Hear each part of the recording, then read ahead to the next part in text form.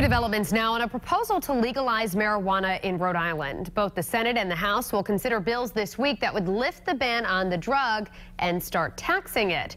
New at 6, what effect the change could have on crime. Eyewitness News reporter Perry Russom joins us now with more. If Rhode Island were to legalize marijuana, they would join Alaska, Oregon, Washington, Colorado, and D.C. as the only places in the country where you could legally smoke. This 47 page bill outlines how Rhode Island would tax and regulate marijuana. The state has already okayed marijuana to be smoked for medical purposes. This would open the floor for anyone over the age of 21 to legally smoke. If you're going to capitalize on the revenue potential of the bill, you should be first in the Northeast.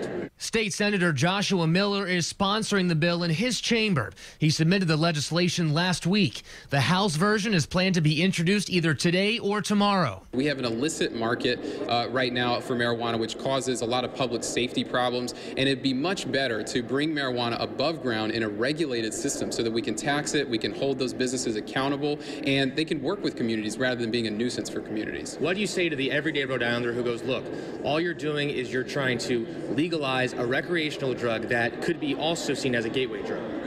It's not a gateway drug. It's been proven it's not a gateway drug.